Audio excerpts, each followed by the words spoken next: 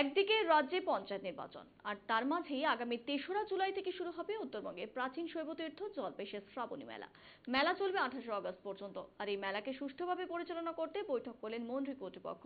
রবিবার মন্দিরের অতিথিশালায় ট্রাস্টি বোর্ডের সদস্যদের নিয়ে এই বৈঠক করা হয়। এতে নিয়ে বৈঠকের নিরাপত্তা বিষয় থেকে শুরু করে সমস্ত বিষয় আলোচনা করা হয়। নিরাপত্তার জন্য মন্দিরে বসানো সিসিটিভি ক্যামেরাগুলোকে পুনঃসংস্কার করা হবে।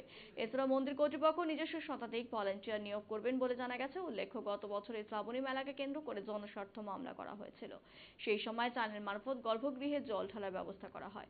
সেই বিষয়গুলোকে মাথায় রেখেই প্রথম পর্যায়ে ঘরোয়া বৈঠক এদিন সম্পন্ন হয়। পরবর্তীতে মন্দির ট্রাস্টি বোর্ড প্রশাসনের সঙ্গে বৈঠক করবেন বলে জানা গেছে। তবে গত বছরে কিছু ঘটনা ঘটে যাওয়ার দরুন এবার অনেকাংশেই সতর্ক থাকছে মন্ত্রী কর্তৃপক্ষ।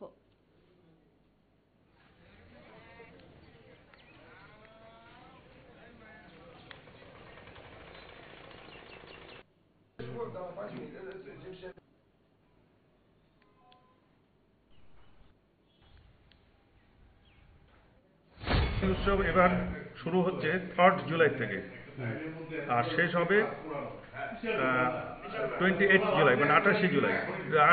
আঠাশে আগস্ট আচ্ছা। অর্থাৎ এইবার নটা মেলা পড়ছে। টোটাল নটা মেলা হবে। টোটাল নটা মেলা হবে। বললাম তার মধ্যেই তো আপনার পঞ্চায়েত ভোট। তো সেই জায়গাটা পঞ্চায়েত ভোট পঞ্চায়েত ভোটের মধ্যে থাকবে?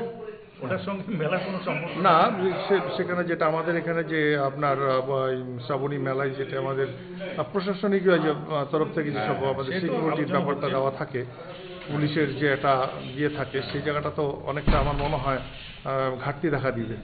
না ঘাটতি হবে না কারণ হচ্ছে আমাদের ধারণা যে থার্ড জুলাই এবং টেন্থ জুলাই এই যে দুটো উৎসবে খুব একটা ভিড় হবে না।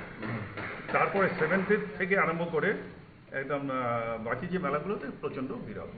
বলছি গতবার একটা সমস্যা হয়েছিল। কোনো জনস্বার্থ মামলা হয়েছিল এই ভিড় নিয়ে। তো এই বিষয়টা নিয়ে এবছর প্রশাসনের সঙ্গে কোনো কথা বলেছেন? জনস্বার্থ